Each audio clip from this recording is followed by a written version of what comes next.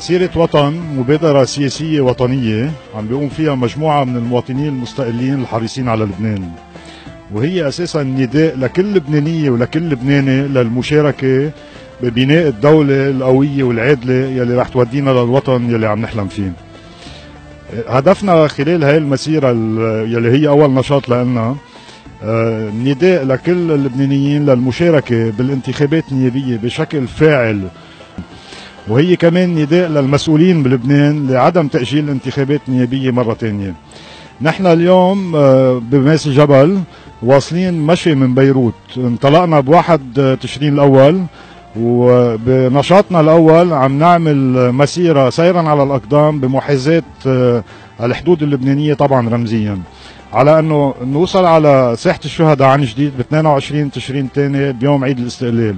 نحن فعليا البرنامج اللي حاملينه هو الدستور اللبناني. هو أحداث التغيير أحداث الفارق الإيجابي بالممارسة عن طريق تطبيق الدستور اللبناني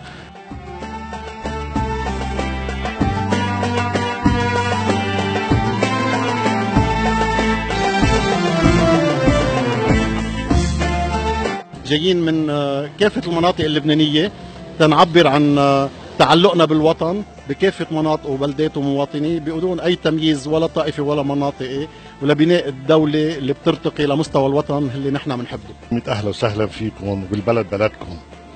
وهذه هاللفتة لفتة ممتازة جدا. والله يبارك فيكم. انكم تفوتوا على كل ضيعة. وتسمعوا إنه كل ضيعة شو في عندها.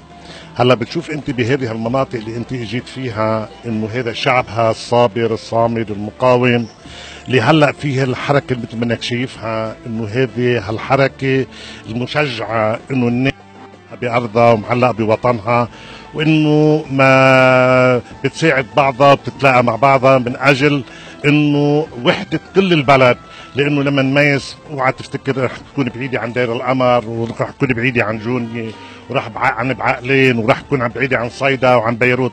إنه هذه ماس مثل كل الضيع هن أهلنا وحبايبنا ونحن شعب واحد واليد وحدة ومصيرنا مصير واحد. أهلا وسهلا فيكم هذه الضيعة ضيعتكم. يا ميت أهلا وسهلا والبيوت كلها بيوتكم. شكرا ريس. نحن كمسيرة وطن نفتخر بكل شبر أرض منمر فيه ومنلبس ومنتواصل مع أهله لأن هن أهلنا.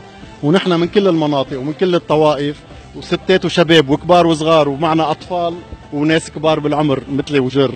الراية اللي عم تحكي عنها هو العلم اللبناني هالراية المرفوعة اللي نحن هذا كل ما فينا شعارنا وكلتنا إنه بنضحي من أجله ونحن كلتنا تحت العلم اللبناني. شعب ما بيحب إنه الموت بحب الحياة. هذا هذا شعب إنه بحب يدافع عن أرضه وعن وطنه مهما كلف الثمن والأثمان.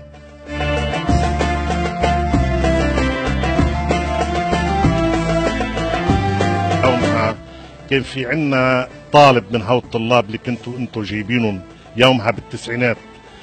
فكان من هون إنه بده ينام عند أخته.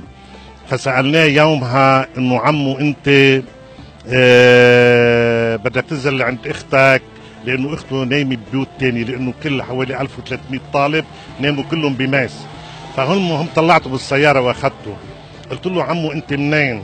قال لي أنا من علاي قلنا له أهلا وسهلا فيك وبكل أهل علاي انت آه، من اي عائله قال لي من عائله كذا. قلنا له ليك في نحن في بتصعب وبتموهر وكان عم بخلق له جو. قلت له عمو انت عارف حالك انت وين؟ انت عارف حالك وين؟ قال لي لا والله ما قالوا لي إذا بالشرقية ولا بالغربية. قلنا له عم انت لا بالشرقية ولا بالغربية انت بجنوب لبنان. عرفت جنوب لبنان؟ قال لي اللي بتقصفها إسرائيل. هذا هو نحن هلا بدنا نربي اولادنا وأجيالنا على حب الوطن والانتماء لهذا الوطن والدفاع عن هذا الوطن لأن كل ما فينا كلتنا إنه بندافع من أجل الوطن كلتنا مقاومين دفاعا عن وحدة هذا البلد ها شعب وأرض.